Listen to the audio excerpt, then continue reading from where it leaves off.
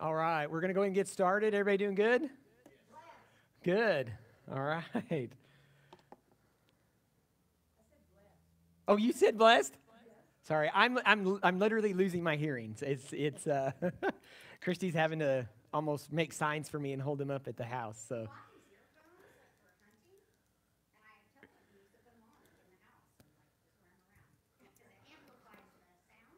yeah, that's, that's, that's not very nice, is it?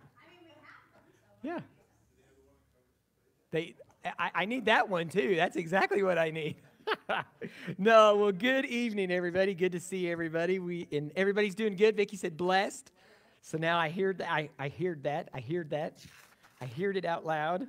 All right. Prayer requests like we always do. What can we help you pray about? Oh. He, what's going on with Craig? Just sick? Okay. We absolutely will.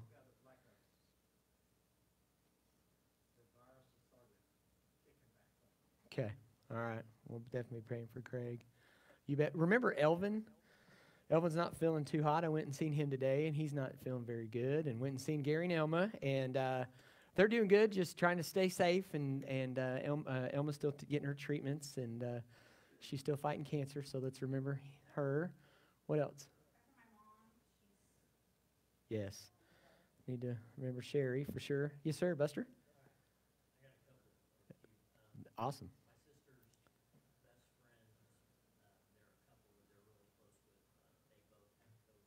Uh, uh, oh wow.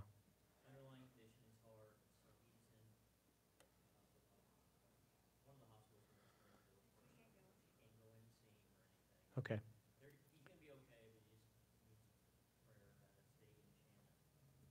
Shanna? Okay.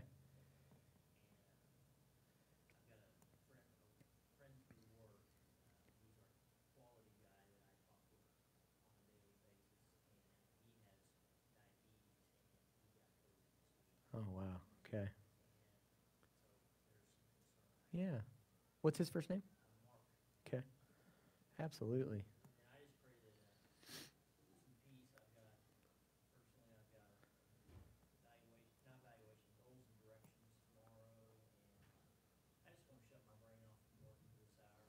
Amen. Amen. Amen. I hear you.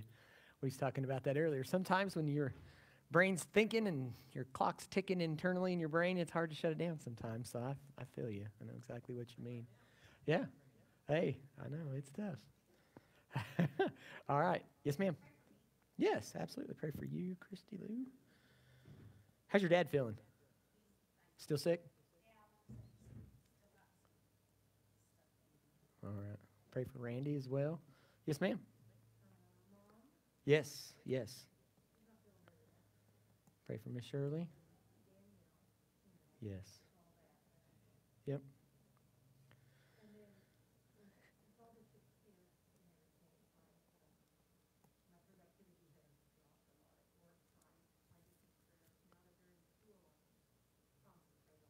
Amen.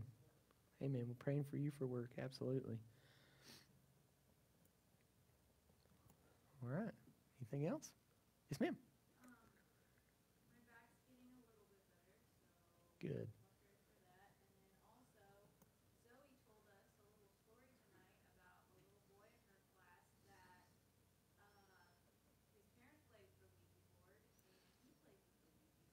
Mm.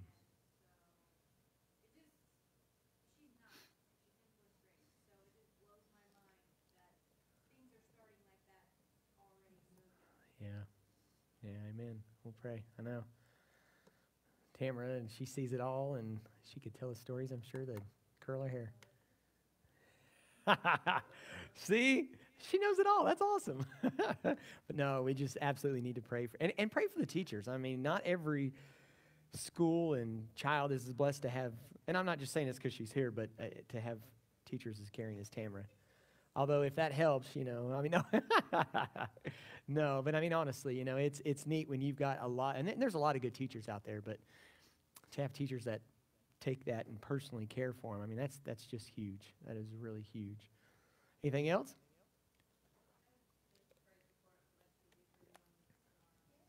Amen. Amen. Awesome. Absolutely. We'll be praying for her. Continue to pray for her. So, absolutely. Yes, yes, absolutely. We sure will. We sure we, Of course, you know, the country, we need to pray for our country and leadership, incoming leadership, and all that stuff, and, and lift our leaders up and uh, just trust in the Lord and lean on His understanding, not ours, you know, and uh, just uh, remember God is on the throne. Is your hand up?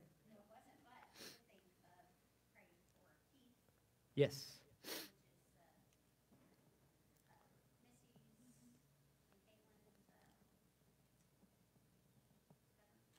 Yeah. Yeah.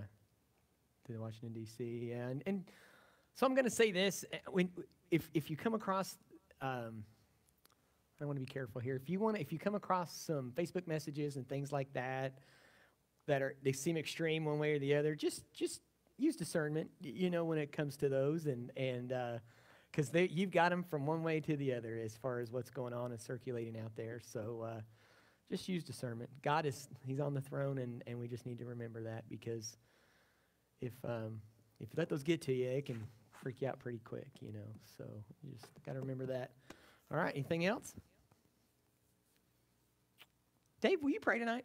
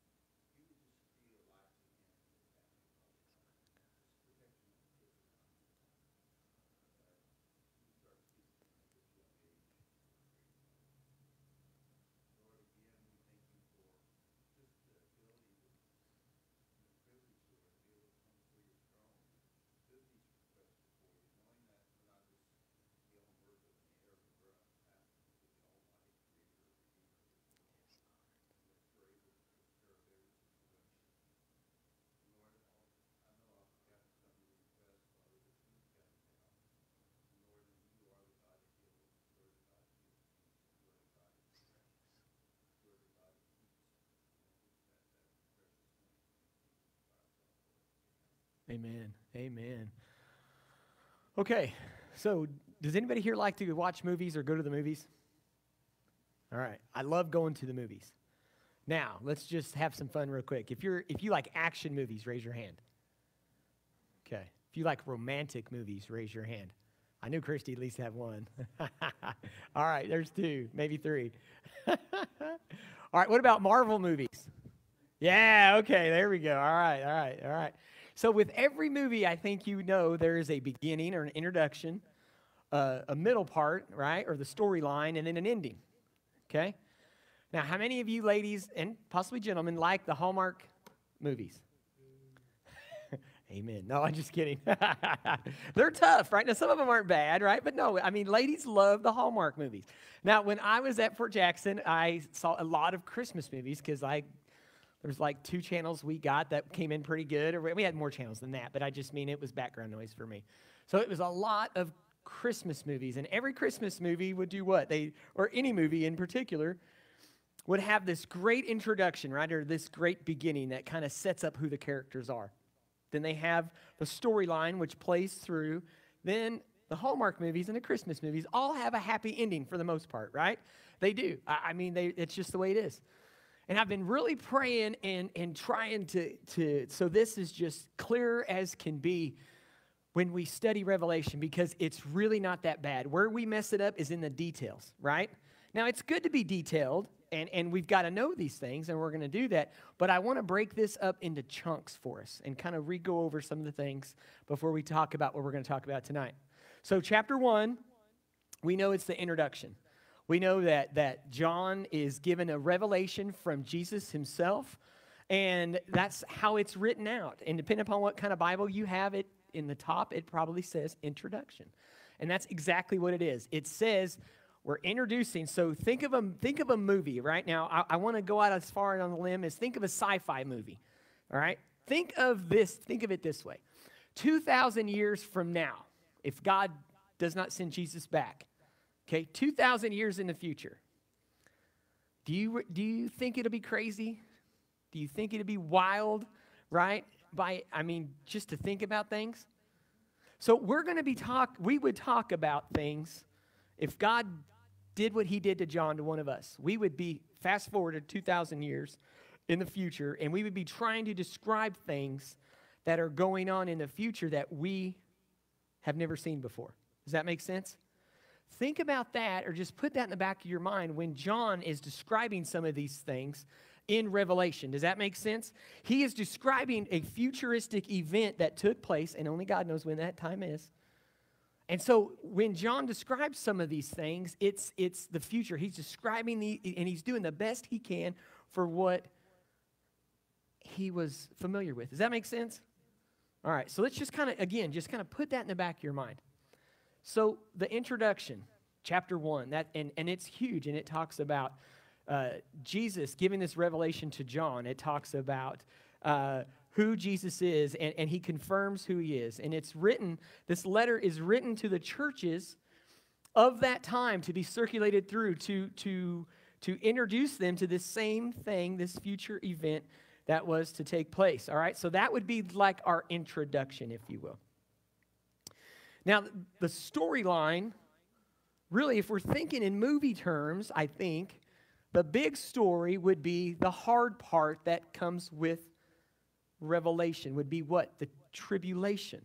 There's so much time, so seven years, and the Bible talks about that in detail, the seven years in detail. And then it breaks that detail down even further.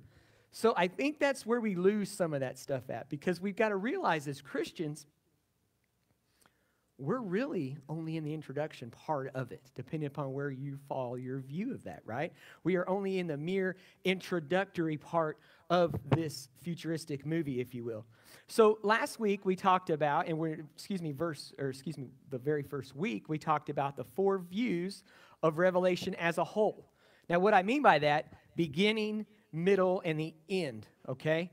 the four views of Revelation as a whole, we know that there's the preterist view, all right, the futurist view, the idol, the idol, idealist view, excuse me, or the uh, historist view, all right, or historic way of looking at Revelation. So remember that when we say that, that's looking at the Revelation as a whole, beginning, middle, and end as a whole, all right, as the whole movie. The tribulation part of that is the bad stuff.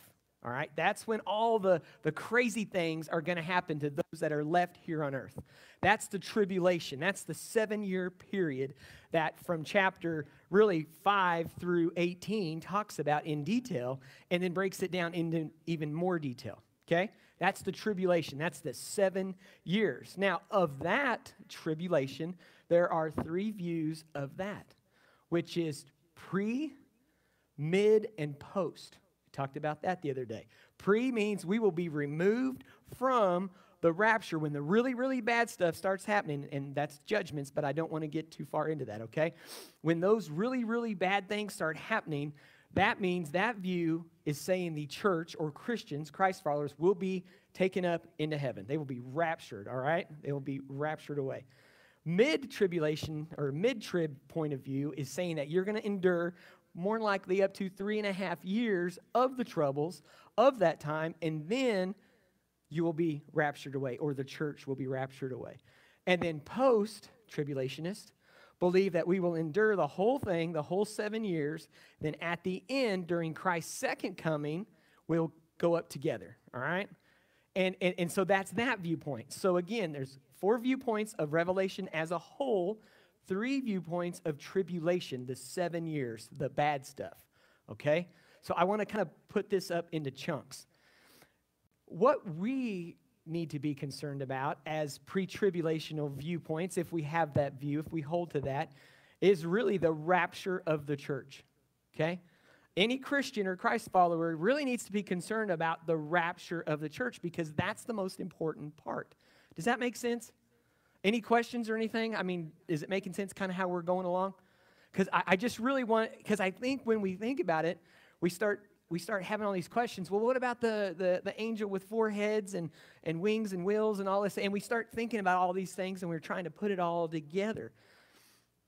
And that's good to know, and we're going to go through that stuff. But I think if you just take Revelation and you break it up into pieces and look at it like a movie, maybe it'll make more sense, okay? So, so that's really what I was thinking about today how we can, can do this and, and have it make sense where we're just not totally taken away. Because honestly, and let's just be real, some of the things that we're going to talk and discuss and what we've already talked and discussed is theory. We're doing our best to try to understand something so amazing, it's outside of our scope. These little pea shooters, things we have in our skulls, I mean, can only understand so much, right?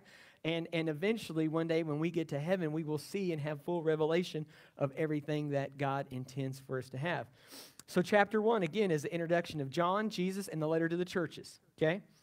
Now, chapter two and three, what we talked about, is talking about the churches. They're described in and addressed in how they operate or how they were, you say famous for, but how they were known, right? Because Jesus knows how the church operated and he called them out on it. He just told them exactly how. He's just like he knows how this church operates. He knows our heart in this church, and not just this church, but every church everywhere. He knows how we are. He knows how we operate together as a whole, as all of us together. Chapter 4, okay, when we get into that, describes the awesome worship scene that takes place in heaven. All right? It's the amazing scene of just seeing Jesus in heaven, seeing heaven for what it is, and for God being just as absolutely amazing that He is.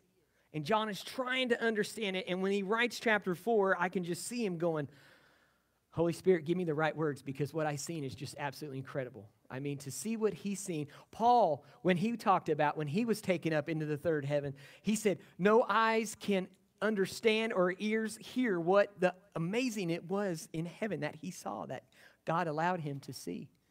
So when we think about these things, again, we are seeing the creator of heaven and earth. We're seeing God for who he is. And, and, and it's just, it's almost too much, I imagine, for John to take in. And I think if we think about that, it's much the same way. Now, for those of you watching online, if, if there's anybody watching online, we're thankful for that. Drew gave me the thumbs up. I, I want to say the same thing to you. If there's anything that doesn't make sense or you have questions, please comment below. Uh, we want to make sure we do that. Stay tuned because when we wrap this up, I've got some really great announcements I want to talk about for next Wednesday and for this Sunday coming up. So please, you're part of our family too like I like to say, and I finally get to say it, we're one church in many locations. and it may be in your home, but that's all right. That's where the church is. When two or more are gathered, we're there with you. So we want to make sure you are part of us as well and feel at home too. All right. So, chapter four, again, going back, describes the amazingness that is God. Chapter five, and we haven't went there yet but we're going to is talks about when jesus is opening the scroll at god's ordained time Okay? It's really what chapter 5 is. And that's really when we start to see the, the revelation or, or the tribulation clock start ticking, okay, if you will. Now, if you remember from last year, the year before, 19, I think is the last time we went through it, the end of 19, early 20, uh, there's an interlude, all right? There's an interlude during part of Revelation. And it's almost like a pause, if you will, in the action and it sets the stage up even more all right? So so again that's just a real high overview of of really what we've studied so far. But tonight what i want us to concentrate on is the rapture. I want us to concentrate on the rapture. I want to go back to matthew chapter 24 and uh, and then we're going to pick up if you've got your bible with you hopefully you do yeah we're going to be in first uh, thessalonians first thessalonians. Of course we're going to be in revelation which is easy to find. So we're going to kind of flip back and forth uh, between the two. But again, the three views of tribulation, the seven years of suffering, are pre, mid, and post. Pre, mid, and post. Okay? So, tribulation, inside the tribulation. Now, now, the tribulation, the word of that means great suffering and trials. Great suffering and trials is what tribulation means. It is seven years of judgments, seven years of three types of judgments. You have the seal judgments, you have the trumpet judgments, and you have the bowl judgments that God, or excuse me, Jesus will actually open up at just the right time in the proper order. And that's really when all hell will break out on earth. And that's really what happens. The Bible talks about hailstones, it talks about all kinds of just horrible things. And people are still going to say, No, thank you. I don't want any of Jesus. And I think about that and it just blows me away. How could anybody not want anything to do with Jesus, especially when their life is falling apart? What do we as Christians do when our life starts falling apart? We typically drop to our knees and say, God, why me, right? That's the first thing we do. But some people, and I can't imagine this personally, are so bullheaded that they are still saying, eh, whatever. Again, it just blows me away because God is not only the, uh, the, the, the, God of first chances, second chances. God will, He wants to give every chance that He can to every person until it's too late. And for some people, unfortunately, it is too late for them to wait. And it saddens me and, and, and, it breaks my heart, but this is the hope that is in Christ. And this is really what I want to bring, and something I want to do better this year is offer that hope to those um, that may have a loved one or someone that they know dear to them that maybe uh, took their last breath without them knowing. Here's what it comes down to it's ultimately between them and God, whether or not, even in that last breath they took, whether or not they accepted Christ or asked for Christ. I, I mean, so let's just give it to God, okay? Because remember, when we get to heaven, there is no sadness in heaven, there's no disappointment in heaven, right? Let's just remember that God gives, and I truly believe this, this is me, every opportunity that they can. But there is going to be those that are going to wait for too late. But let's let God decide, okay? Let's let God decide who waits too long and who doesn't. All right. Please do. Speak, buddy. Okay.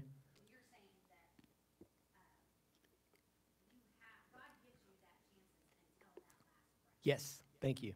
Yes, God gives us chances until we take our last breath. Yes, thank you. Please Talk, buddy. I need that. Okay. So, again, getting back to the rapture. The rapture, what do we know about the rapture? Has anybody seen the great Kirk Cameron movies, Left Behind? Those are really good. Now, I say that jokingly because, but they are really good movies. Uh, um, the Left Behind series, especially that one, when, when you see of planes flying and all of a sudden pilots and everything, there's nothing left but a pile of clothes.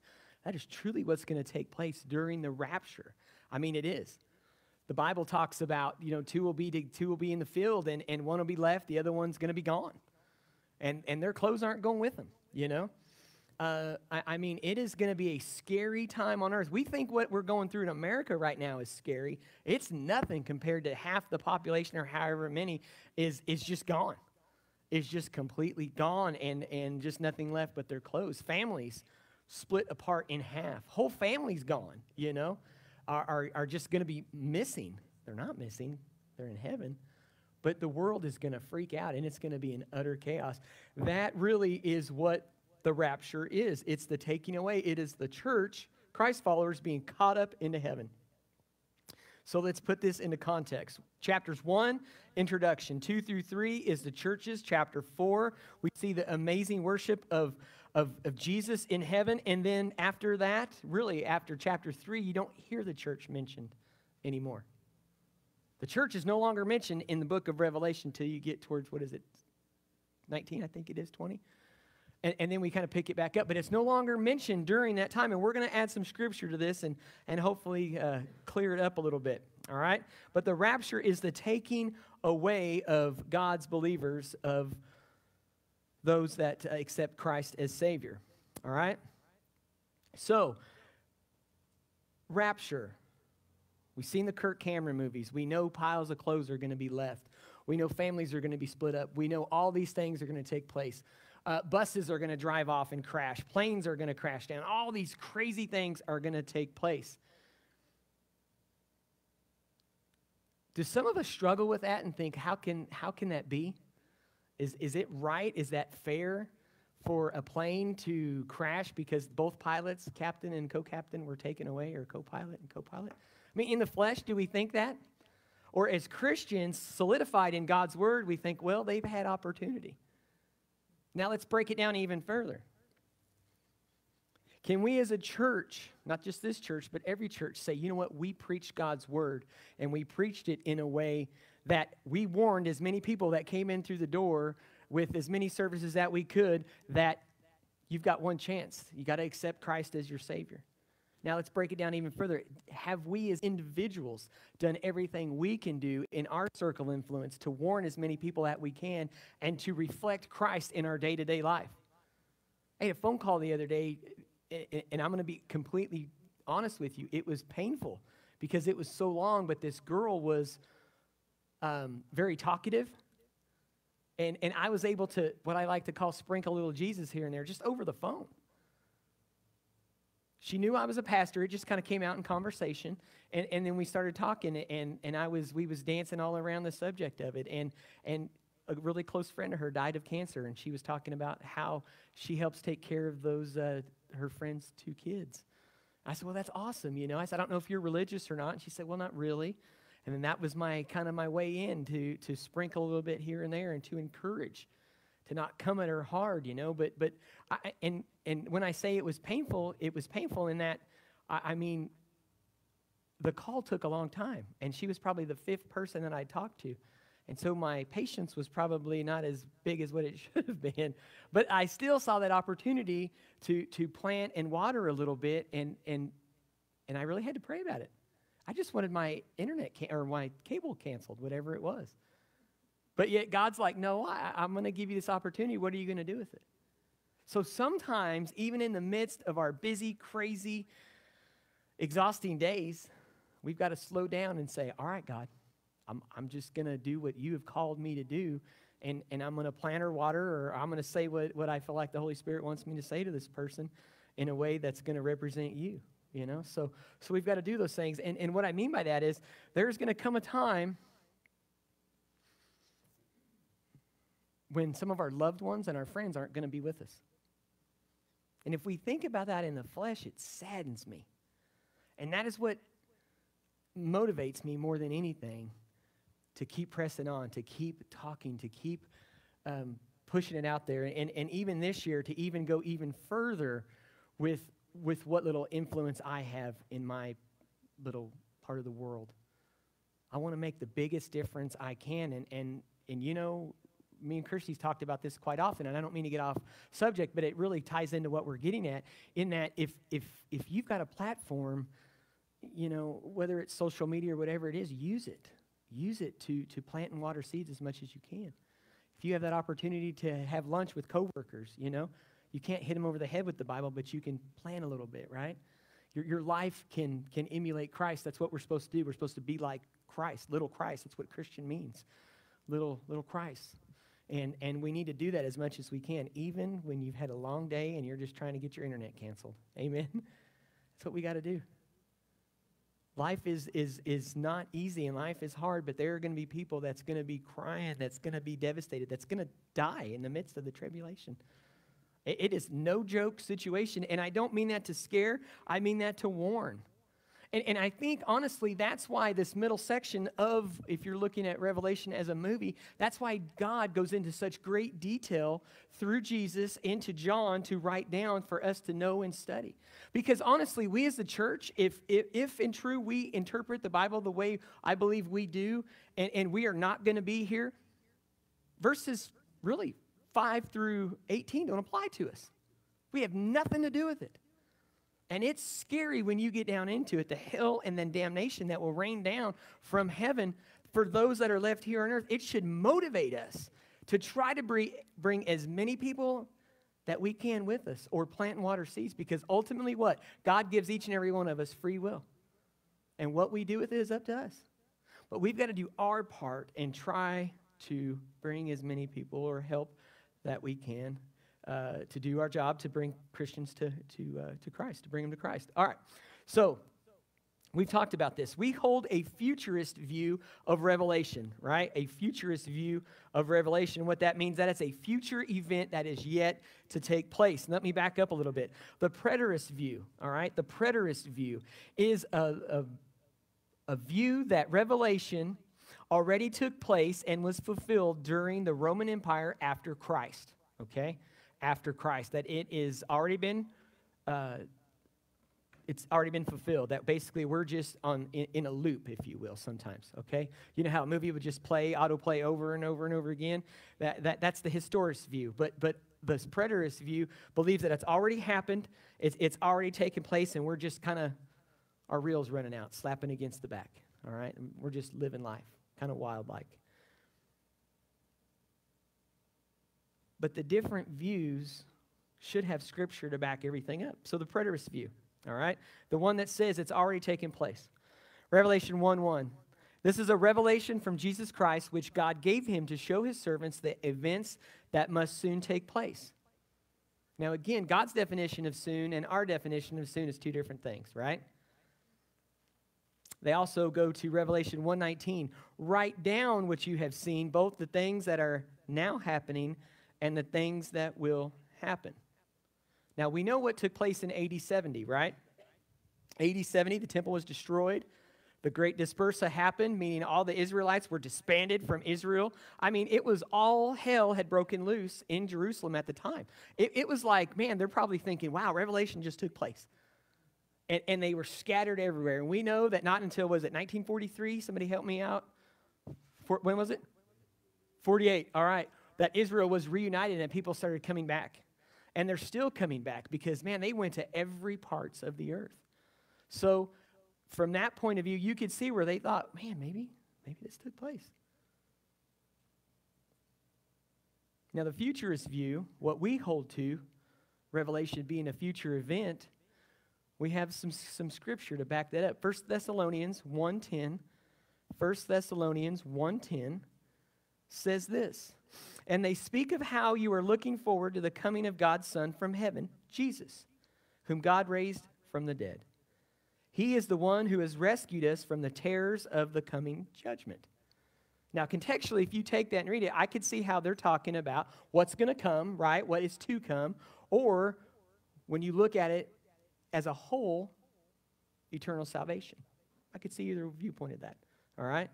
But many of us hold to that that is a forwarding that uh, God has rescued us through Christ, has rescued us from the, the, the horrible terrors that are coming through the three judgments that will take place in Revelation. The next scripture, 1 Thessalonians 5 9 through 10. 1 Thessalonians 5 9 through 10. For God chose to save us through our Lord Jesus Christ, not to pour out his anger on us. Christ died for us so that whether we are dead or alive when he returns, we can live with him forever. Whether we're alive or dead, we can live with him forever. And I talked about this a couple weeks ago, Revelation 3:10. Revelation 3:10. Because you have obeyed my command to persevere, I will protect you from the great time of testing that will come upon the whole world to test those who belong to this world. Because you have obeyed my command to persevere, I will protect you from the great time of testing that will come upon the whole world to test those who belong to this world. Now, look at where it's located Revelation chapter 3 and verse 10. That is not after the church is not talked about. Okay? So many ascribe that that is saying that, you know what, he is going to save the church. He's going to conserve the church, if you will, preserve it, however, and, and that we're not going to have to, to suffer the horrible judgments. Now, let's be honest. Are we going to see suffering in our lifetime? I believe, even holding to that viewpoint. Yes, because it's got to get bad, right? It's got to get worse before it can get better.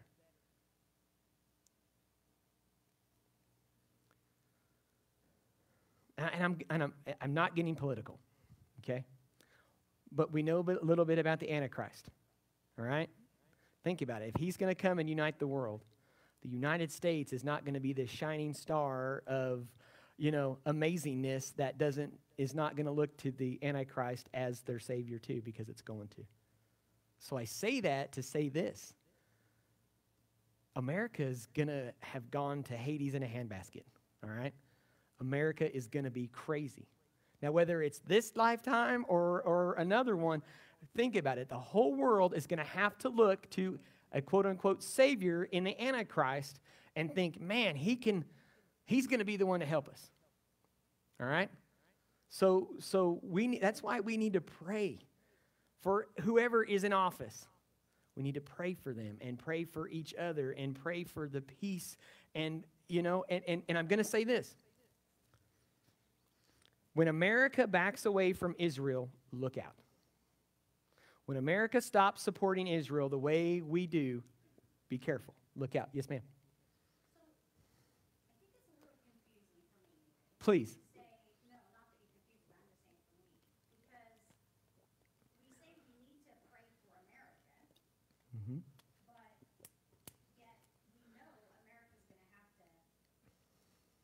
Get bad? Get bad. Sure. Like, we, what? Okay, how should we, and that's a great point. How should we end every prayer? Who said thy kingdom? Did somebody say thy kingdom come, thy will be done? There you go. Yes, that's exactly right. Thy kingdom come, thy will be done. We can pray for everything. I want to have peace in my lifetime, right? I want my children and my grandchildren to have peace.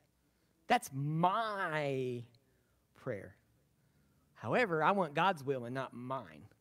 But I mean, yes, I, I, think that's a very good point because we do. We, we only want nothing but the best for us and ours. Yes, ma'am.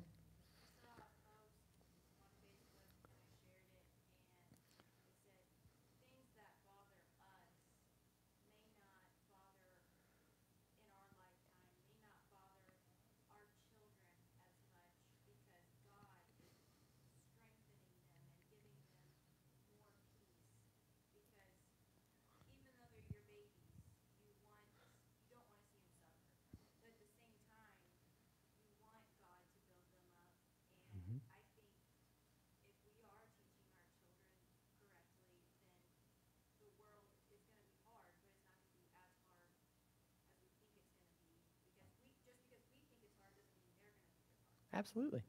So, so great point. Let's think about that. Let's unpack that a little bit. We think it's hard living where we're at now, right?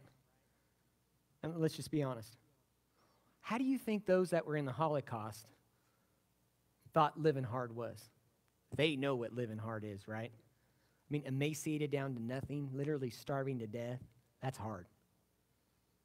I think it's hard if I don't get dinner at 5:30. you know, I mean, let's just be honest. But you're right, Sid. I think that's a very good point. What you know, every generation has their own idea of what hard is, and maybe as the world dilapidates or goes down or whatever, and I'm, I'm not saying that. I just mean as it as we continue to go. Yeah, I can see that. It, there you go. Yeah, that's very good adaptation. I don't know.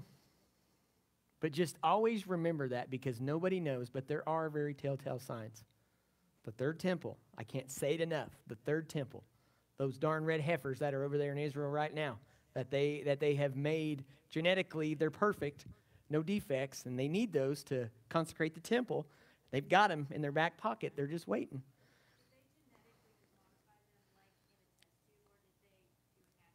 Naturally, through breeding. Yeah, yeah. Yeah, no, right? Exactly. Exactly. no, it, right? And, and I think that's it. So, you know, we've got certain things that we've got to look for that we can look for. And, and, and again, I encourage you always look to Israel. Always, because that is, you know, that's God's homies, right? That, that's his people.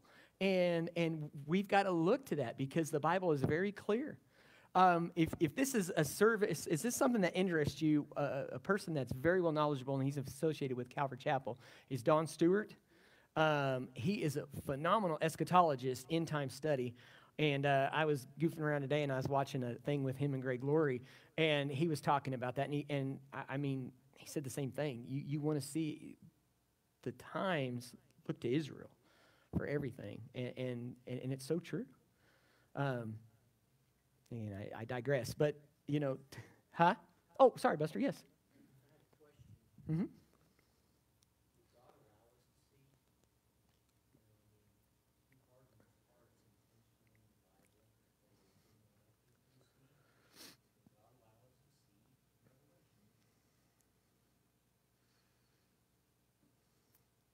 What do you, okay, what do you mean? Like as far as, Well, if you're, if you're, if we're staying to the Mhm. right? Because we aren't gonna be here. right. But to, I think to Buster's point, are we going to, is this what you're getting at? You're, we're going to see some really bad times, but are we going to realize they're bad times? Mm-hmm.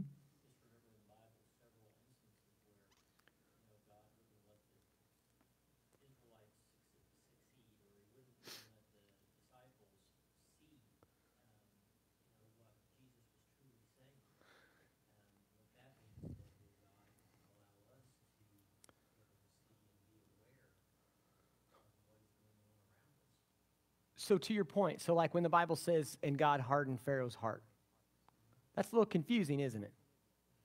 I mean, does that is, is that hard for us? Because I, I, I, think I get what you're saying. Um, when we read that, when God hardened Pharaoh's heart, you got to remember God is not going to do anything that that person wouldn't have done. Meaning that person's heart, that king's heart was hardened. You know what I'm saying? And and and and he could have changed his mind, but he didn't. And, and nor was he going to. Does that make sense? Because if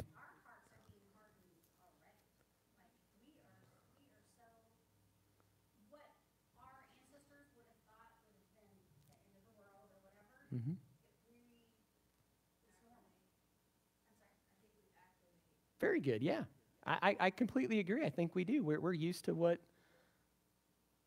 Okay, let's look at it this way. Think about the internet. How many of us here remember AOL and dial up? Yeah, all the funny noises and ding ding, bing, you know, and then you get like a picture 20 minutes later that's fuzzy. That downloads down, right? Now we're upset if Netflix is locked up and clocking, right? I, I mean, so yeah, to your point, we're acclimating. Dave.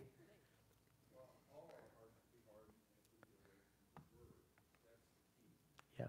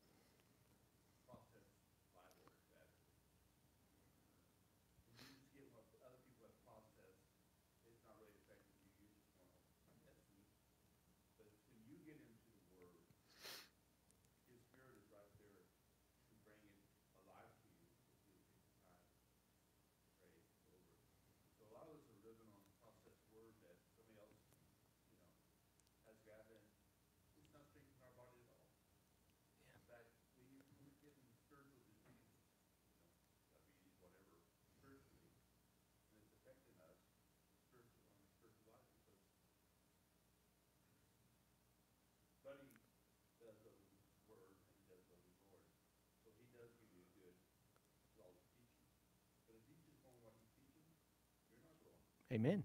That's right.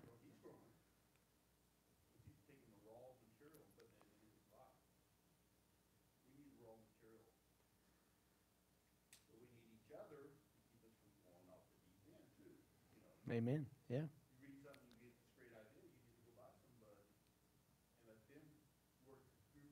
Mhm. Yeah.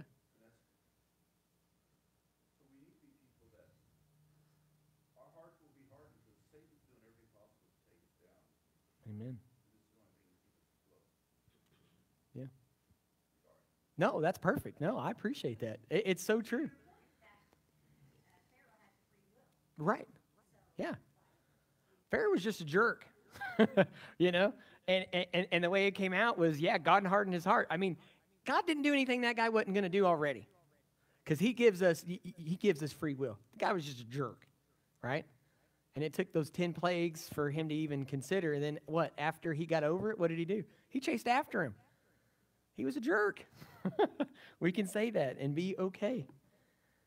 So so again, these verses that, that give us this, and it should bring us much relief when we read these verses and, and hope to that.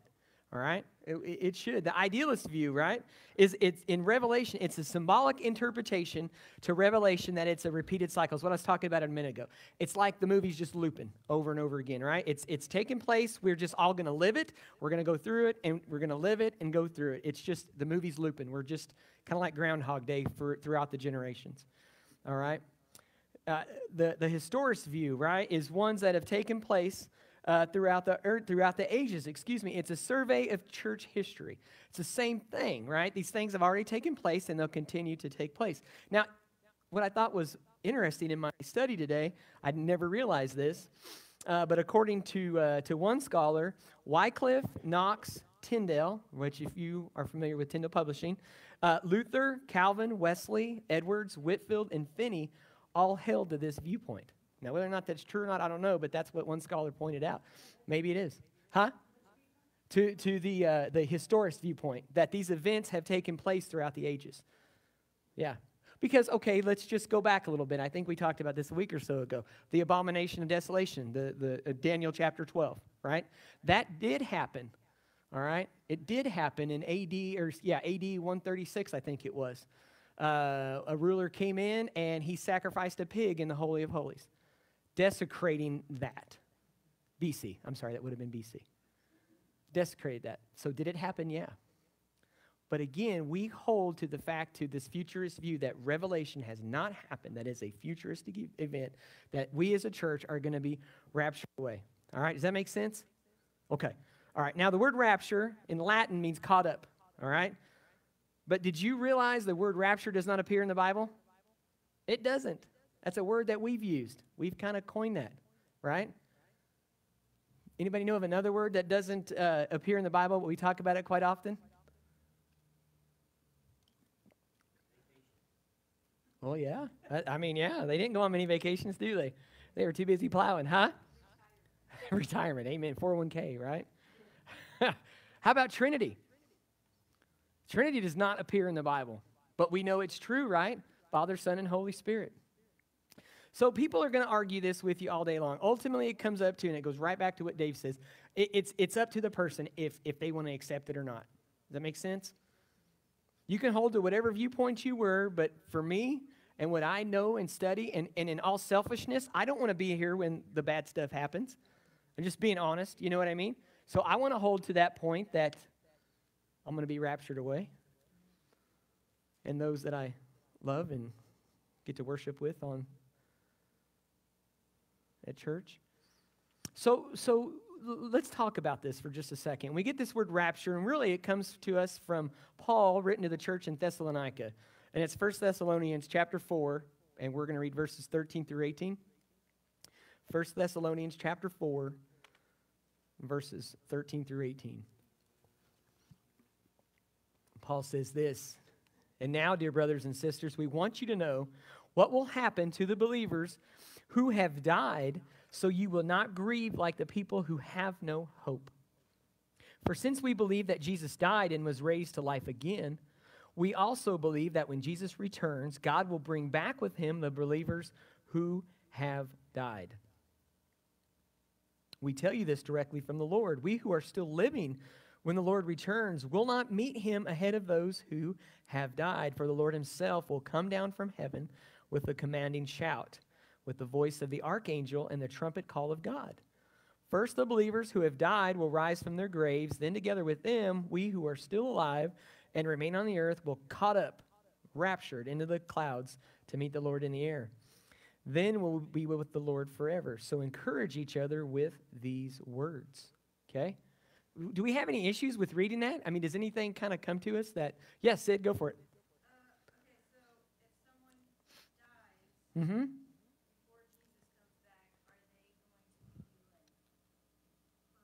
No. What does the Bible say in John? To be absent from the body, present with the Lord. So it's a it's a, what it is. It's a reference to them being dead, is what that is. Confusing, right? And and I'm glad you brought that up because that's what I was going for. Yeah, because we read that we're like, what do you mean they're asleep? and great point. That's where a lot of people grab the purgatory.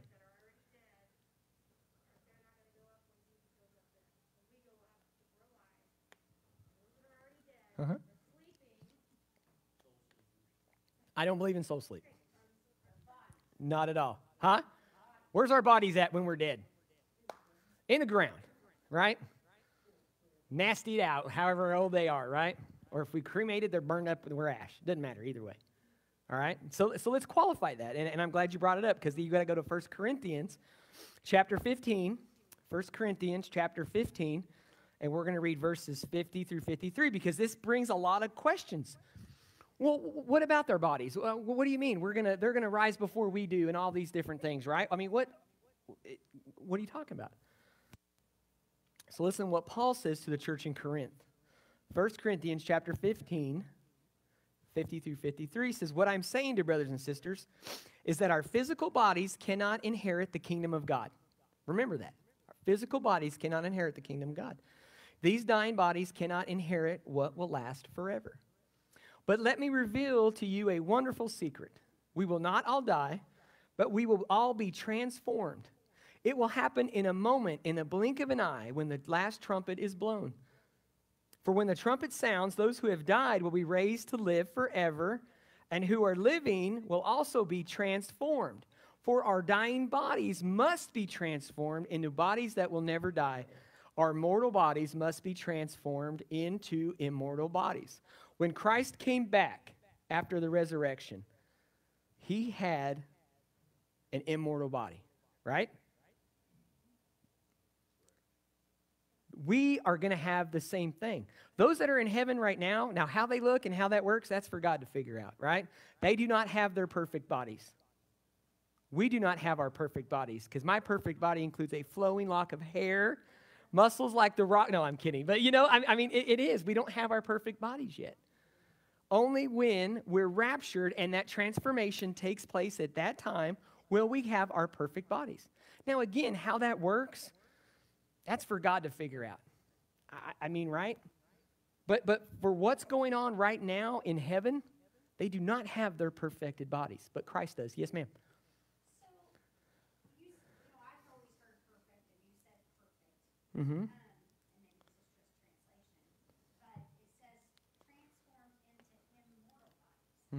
And so I I've heard preached before and read that, um, you know, Christ, when he came back, he had a whole, he has holiness and it's from the, Mm-hmm.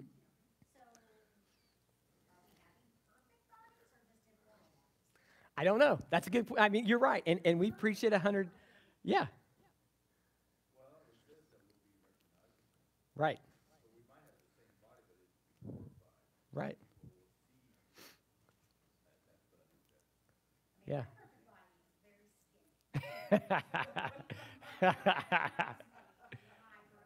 yeah.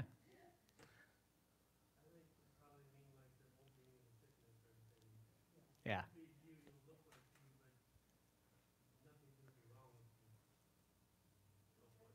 I agree. So, so, so when I want to freak ladies out, I said that. I mentioned that one time during a Bible study. And I said, What if you go to heaven with the body you have now? And all the women were like,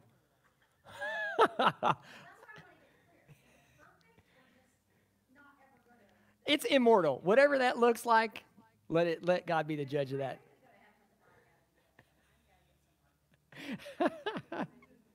hey, you know what?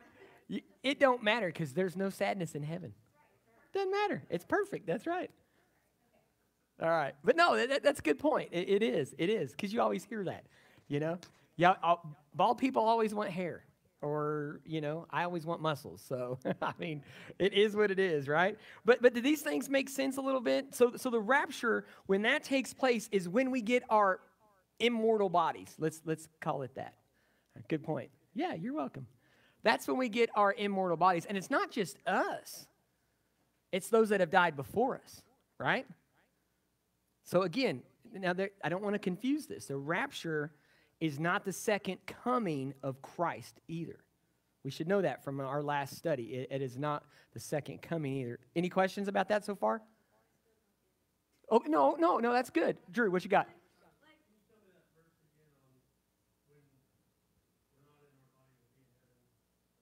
To be absent from the body to be present with the Lord?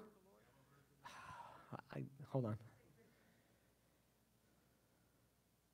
I should know this off the top of my head. Now, Sid, what was you going to say?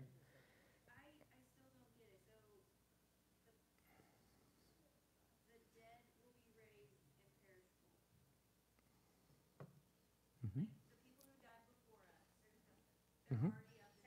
Yep. Five eight. Yes, thank you. Mm-hmm. It's up there. Hanging out. Being who they are. Huh?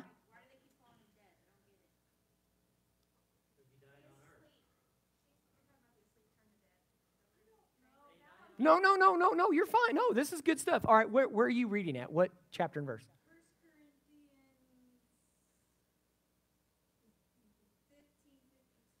What translation are you reading out of? Is it the New Living? That's fine.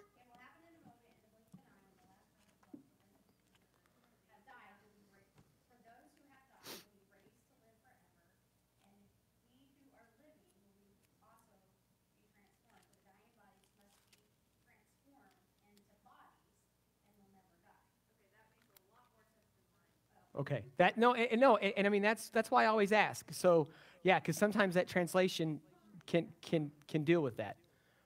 Does that make more sense hearing it that way? Okay. And and yeah, and, and that's just yeah, sometimes. Now now remember the New Living Translation is translated at an eighth grade reading level. And, and, and it's to, to make it easy for us, right? And that's what, I mean, me personally, that's what I love about it. The NIV, and there's other really good ones, ESV are phenomenal. But the NLT just kind of breaks it down at a at a at a uh, lower reading level, if that helps. And for me, it helps me out tremendously. All right, so yeah, I need that. Christy's laughing at me because she's thinking I'm covering my butt, but no, it's true because I mean, yeah, I mean, I I need it dumbed down. All right, this stuff's tough, right? All right, anything else? Drew, did you have a question? Okay. All right. I mean, is it kind of making sense? Because really, if we can understand the introduction, the, that part of the movie, if we can understand, um, you know, the Raptor, er, the Raptor, that's a Yamaha, forgive me. it's a four wheeler. All right, if we can understand, if we can know, understand the rapture, huh? Sorry, I'm a gearhead. Yes, sorry. Yes, sir.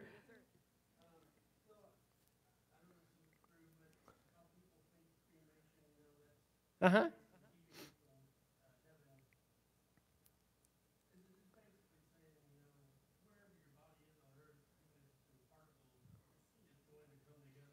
Yes. That, now remember, no, and that's a great point because we're thinking in, uh, or at least me. Let me let me show you my movie. All right, thinking in my my mind. Here's my movie. My movie is, and mom, if you're watching, just just love me anyways, okay? So, so my, my movie in my mind is so my dad is buried at the VA cemetery, right? And in my movie, my dad is very slowly coming up out of the grave and, and his body, and all of a sudden he's transformed. Like we're seeing this, right? Like I, that's how I'm seeing it, right? Take place. It's gonna happen so fast. You know what I'm saying? So it doesn't matter where your bodies are. For those that are lost at sea, it doesn't matter if you've been cremated. The, the it's gonna happen that quick. You know what I mean? We're not even going to see it. It's going to happen so fast. It's just, I mean, that's what I'm perceiving it to be as. But again, in my movie, I see it in slow motion, my dad coming out, you know, and getting his perfect body and seeing him again. Dave.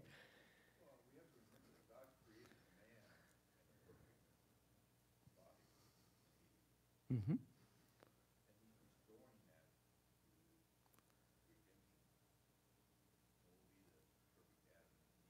Yeah. Absolutely. Amen. Yeah, no. Could you imagine? Yeah.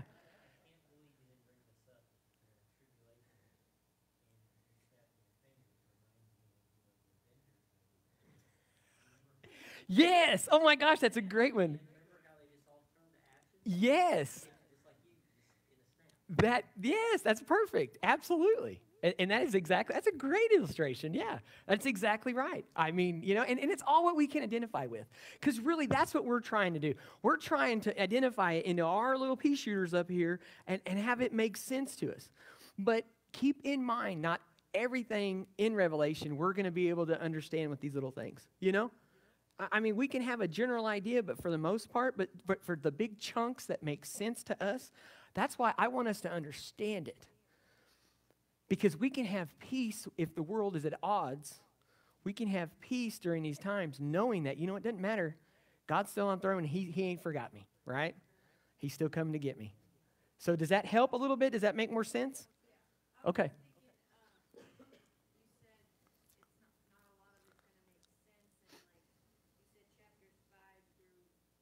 18.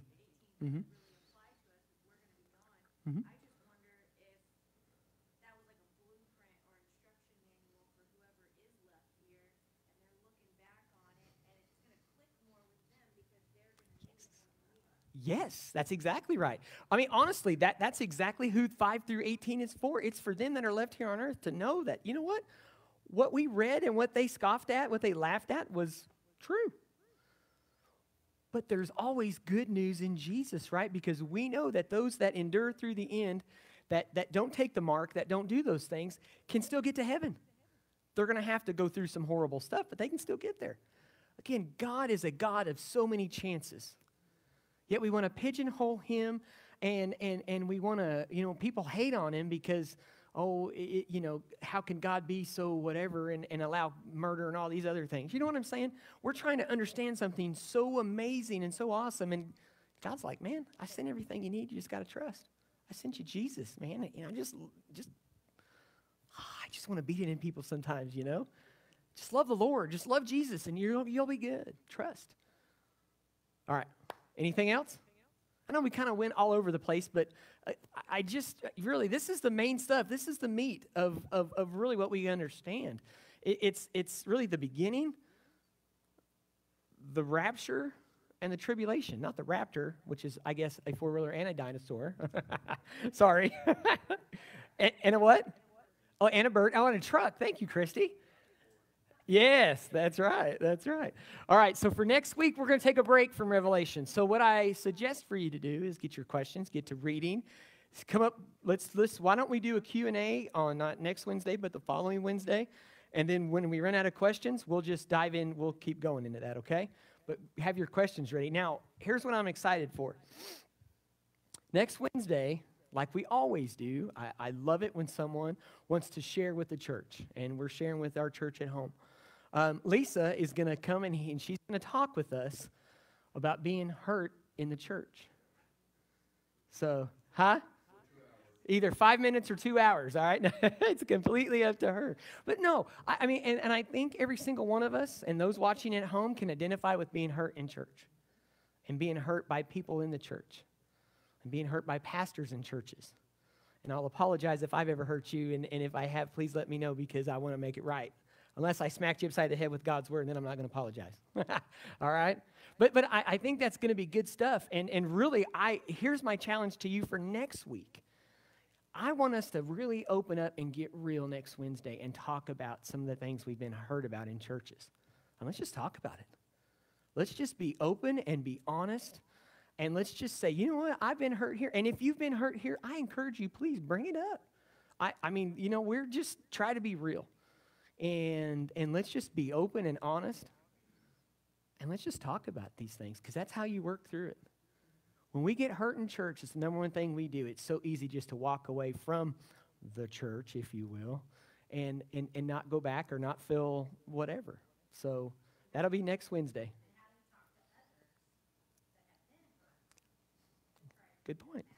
Yeah. There you go. That's a good idea. That'll, we'll make that a talking point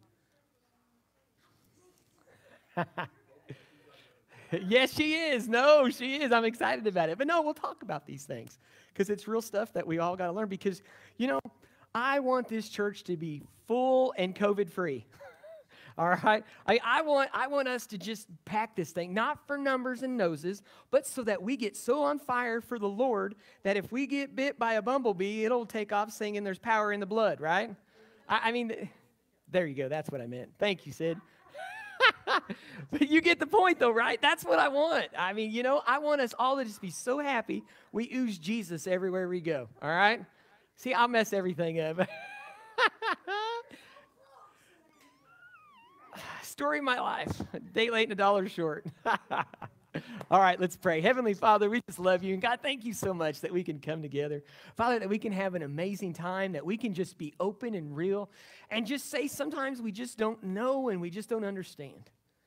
Lord, but those are those times. There's many times, most times, that you give us the answer. And this answer is in your written word. Lord, as we go out tonight, as, as we have things we've got to do tonight, Father, I lift up Buster and I lift up all the things that's on his mind and on his heart and what he's got to deal with and I just lift him up. Father, I lift up Miss Shirley and her sickness. Lord, we just lift up Lexi and we lift up Brandy and Sherry, God. We lift up Evelyn. We lift up everyone, Father. Gary and, and, and Elma, we lift up Elvin, Father. We can just go on through our list and, and you know our hearts and you know exactly what each person needs, Lord, and we lift them up. But most importantly, we pray for your will to be done. Meaning, when we pray, God, we trust you with the answers, whatever that answer is, in whatever way that you want to help, Lord. Father, we just give it to you. Lord, help us to just be so on fire for you that everybody we come in contact with just says, wow, there's something different with that person, Lord. And may we just be the light and the salt upon this crazy, crazy earth. Father, we just love you, and we ask this in Jesus' name. Amen. Go with God and be blessed.